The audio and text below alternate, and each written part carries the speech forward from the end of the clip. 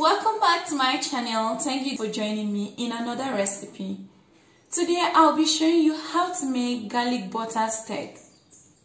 This garlic butter steak is one of the easiest steak recipes so far and you will end up with a very juicy steak at the end. So if you want to see how we make this, stay tuned and let's do it together.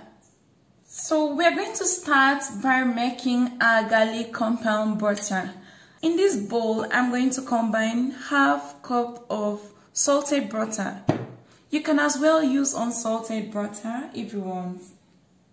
To the butter, add in 4 minced garlic cloves, a tablespoon of freshly chopped rosemary, a teaspoon of freshly chopped thyme, 2 tablespoons of freshly chopped parsley,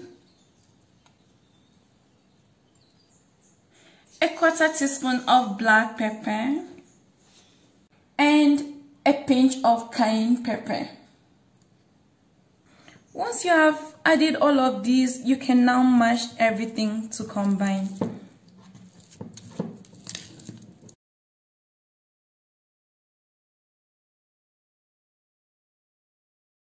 You can transfer the compound butter to a parchment paper. Wrap this up.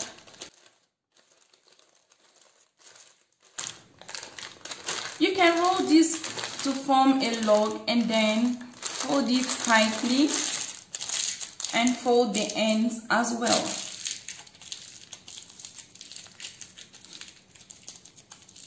This can stay in the fridge for up to a week if you're not using all. So I'm just going to place this in the fridge while we prepare our garlic butter steak. For this garlic butter steak recipe, I'm using rump steak. So I've got 800 grams of rump steak here. To it, I'm just going to drizzle about 2 tablespoons of olive oil over on both sides.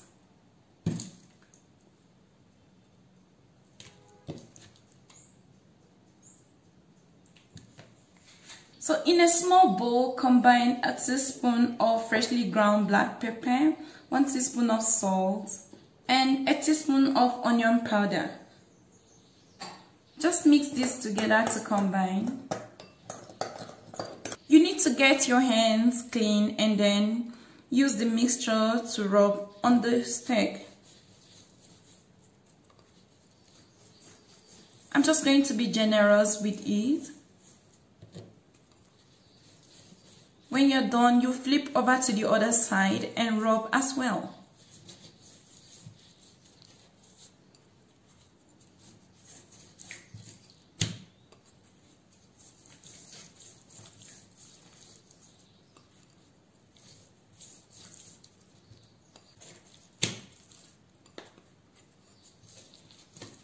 Place a heavy bottom pan on the stove top add about 2 tablespoons of olive oil to it. Let the oil get heated for about a minute. Once the oil is heated, transfer your steak to the pan.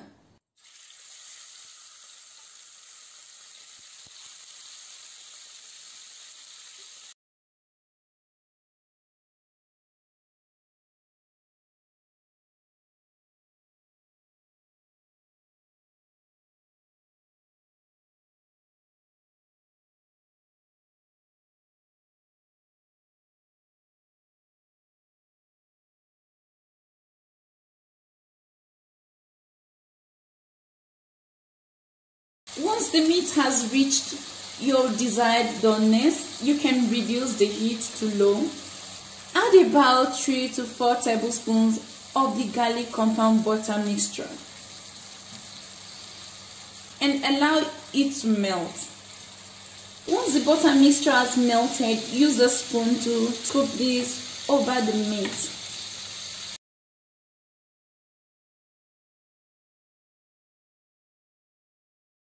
And continue to cook this for about 2 minutes on low heat. Once your steak has absorbed all the delicious flavor from the butter, you can now turn off the heat.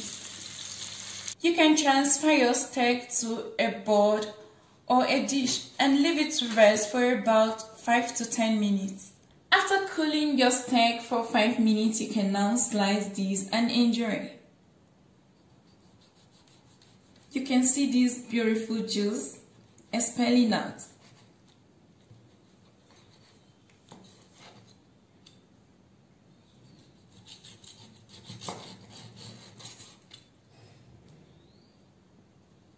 So guys, this was a perfect way to make a juicy garlic butter steak. If you like, you can scoop some of the juices over the steak. This is really moist and I love it. This was how to make garlic butter steak and it's absolutely yummy. I hope you try it out and let me know what you think about it in the comment section below. If you like the video, share with your friends and also give me a thumbs up. And if you have not subscribed to our channel, please do so and click on the bell button so you don't miss any video. Until next time guys, enjoy!